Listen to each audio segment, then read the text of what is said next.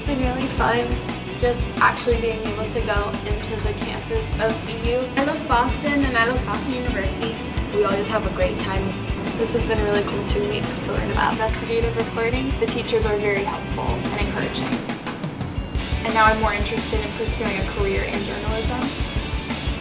I've become a better journalist as a part of this program.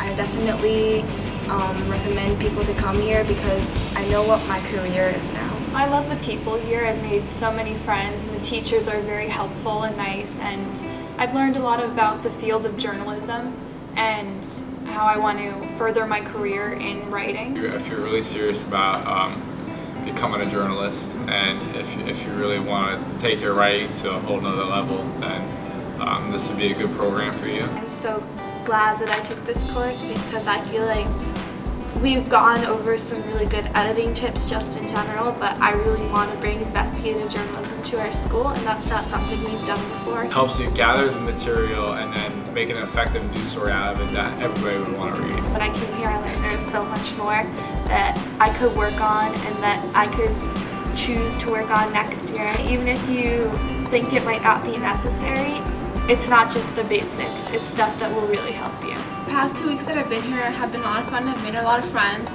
and BU has been very welcoming to all of us and their activities are a lot of fun.